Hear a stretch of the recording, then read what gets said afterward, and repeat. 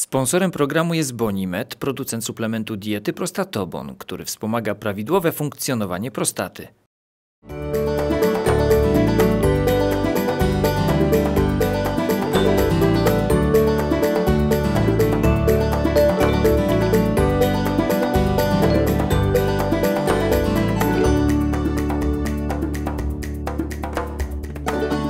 Dzień dobry, witam w kolejnym odcinku Ziół dla Zdrowia. Nie bez kozery znajdujemy się w tropikalnym otoczeniu. Wszak roślina, o której będziemy dzisiaj opowiadać, to roślina karaibskich wysp. Być może piraci z Karaibów, zwłaszcza ich starsze pokolenie, ją stosowało. Smaczku sprawie dodaje to, iż roślina ta była używana w medycynie starożytnego Egiptu, jak i starożytnych Majów. Ciekawe, która z tych nacji przekazała sobie wzajemnie tą informację. Być może przekazicielami byli mieszkańcy zaginionej Atlantydy.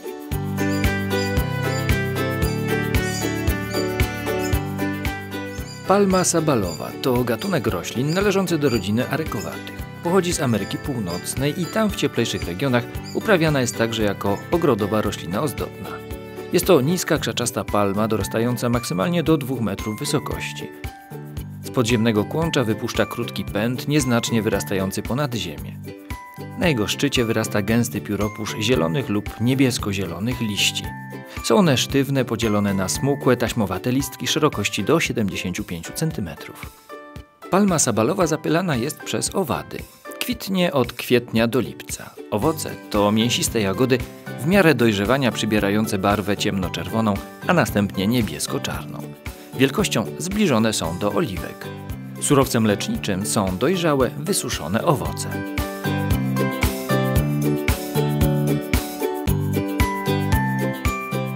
Naturalnych warunkach palma, palmy z rodzaju sabal występują w strefie tropikalnej e, w Ameryce Środkowej, ale również w południowych Stanach Ameryki Północnej.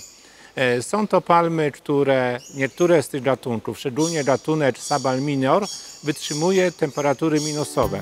Literatura podaje, że palma jest w stanie przezimować się w temperaturze minus 18 stopni Celsjusza. Oczywiście dotyczy to już osobników, które na danym terenie występują od wielu, wielu lat, są dobrze zakorzenione, e, są uprawiane w dobrych warunkach. Na ogół palmę należy e, przy temperaturze dochodzącej już pobliżej 0 stopni e, e, chować do pomieszczeń ogrzewanych.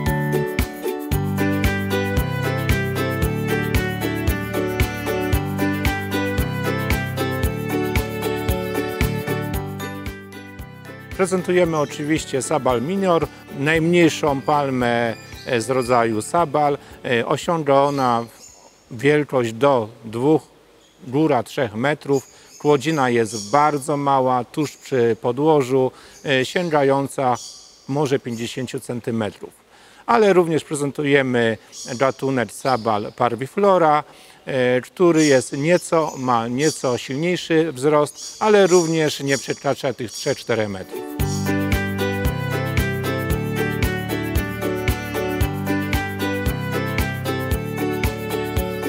Palmy z rodzaju sabal tolerują e, półcień, e, nie wymagają pełnego słońca. E, Natomiast wiadomo, jako roślina tropikalna, im więcej tego światła, tego słońca, tym ten wzrost wegetacyjny jest szybszy. Ogólnie palmy z rodzaju sabal są roślinami wolno rosnącymi. W naszych warunkach są w stanie wypuszczyć, wypuścić co najwyżej 2-3 liście w sezonie wegetacyjnym. Być może palma sabal jako palma nie wygląda zbyt imponująco, jednakże owoce działają imponująco. Głównie wykorzystywane są w leczeniu górczolaka prostaty, czyli przerostu prostaty. Mają one działanie przeciwobrzękowe, przeciwzapalne, immunostymulujące, ale główny efekt działania to hamowanie wpływu męskich hormonów płciowych, czyli androgenów na prostatę. Pod wpływem androgenów prostata przerasta, a jeżeli zahamujemy wpływ tychże androgenów, uzyskamy efekt terapeutyczny i to robi owoc palmy sabal.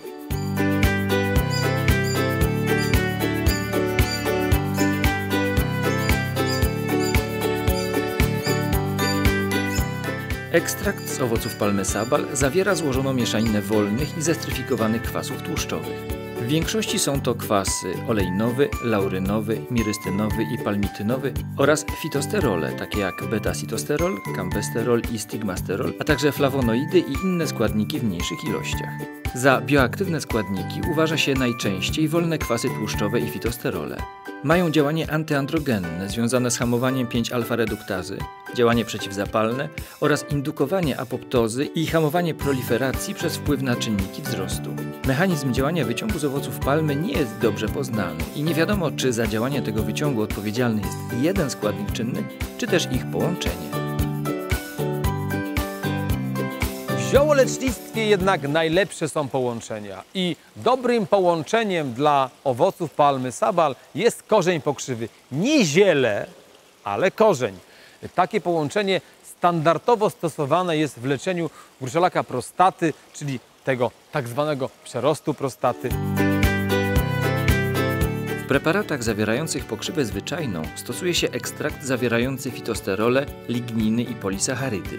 Mechanizm działania ekstraktu z korzenia pokrzywy nie jest jeszcze dobrze znany. Przypuszcza się, że ma on wpływ na aromatozę, komórkowy czynnik wzrostu i receptory steroidowe zlokalizowane w błonie komórkowej komórek prostaty. Ma on także działanie przeciwzapalne.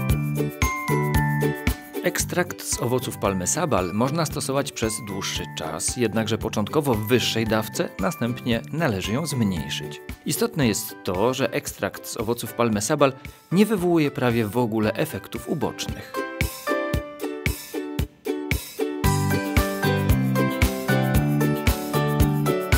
Ma on znakomite znaczenie również w innych problemach typu męskiego. Otóż znakomicie leczy się tymże e, owocem palmy sabal łysienie typu męskiego. U 60% pacjentów, którzy przyjmowali doustnie ekstrakt z owoców palmy sabal, uzyskiwano dobre efekty w leczeniu tego łysienia. Myślę, że jest to ciekawa propozycja dla panów.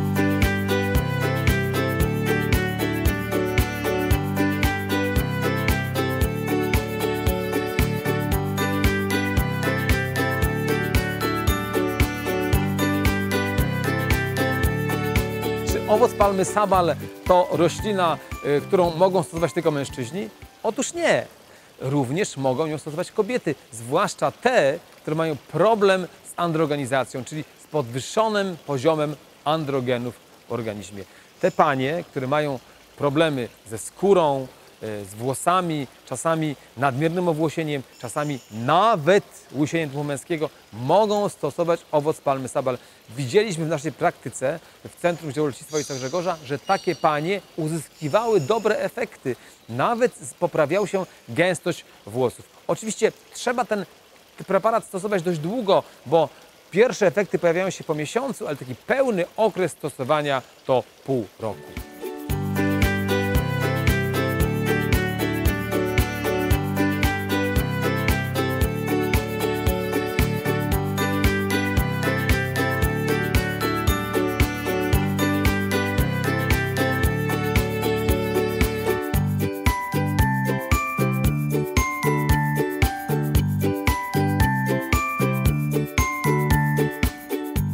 Owoc palmy sabal to roślina z tropikalnych wysp.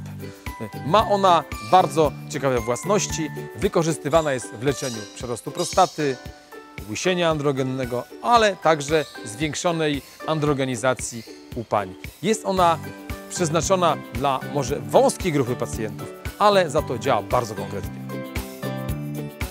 Kliknij w poniższy obrazek, aby dowiedzieć się więcej na temat suplementacji diety, jaką zaleca Centrum Ziołolecznictwa Ojca Grzegorza.